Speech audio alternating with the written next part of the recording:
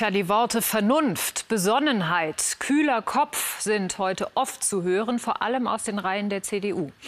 Der Termin, auf den also jetzt alles zuläuft, ist heute Nachmittag 17 Uhr.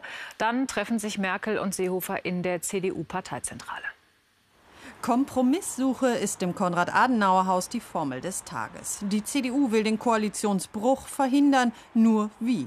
Nicht vorstellbar sei ein Alleingang in Europa, wie ihn die CSU andenkt. Stattdessen Rückendeckung für die Kanzlerin. Ich sehe in dem, was Angela Merkel erreicht hat in Brüssel, ganz, ganz große Brücken. Vieles ist ja erreicht worden durch die CSU. Und ich glaube, ähm, wer guten Willens ist, bekommt das auch als gute Brücke gemeinsam hin. Ähnlich sieht es die dritte im Bunde, die SPD. Die Partei stützt die CDU bisher bei der Asylpolitik, stellt heute ein eigenes Fünf-Punkte-Papier vor. Über die CSU Kopfschütteln. Es ist ein Streit zwischen den äh, Schwesterparteien. Der kommt zur Unzeit, weil in Europa viele Herausforderungen da sind. Da wird eine handlungsfähige Regierung gebraucht. Handlungsfähigkeit hat momentan in der, in der Bundesregierung nur die SPD.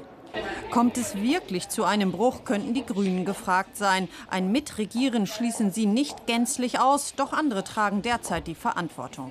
Wir erleben ja eine erstaunliche Welt, wo sich die CSU und die CDU, die Union im Grunde benimmt wie die Grünen in ihren Anfangsjahren. Also es geht da chaotisch zu. Und umgekehrt versuchen wir, das zu sein, was man immer den Unionsparteien vorgeschoben hat, Stimme der Vernunft. Versöhnliche Zeichen vom bayerischen Ministerpräsidenten. Für ihn stehe die Stabilität der Regierung nicht in Frage. Es gibt eine Fülle von Möglichkeiten, die wir auch selbst schon angeboten haben, an Kompromissen, um zu einer Sachfrage, zu einer Lösung zu kommen. Das ist für uns äh, ganz entscheidend und äh, wir hoffen, dass das noch möglich ist.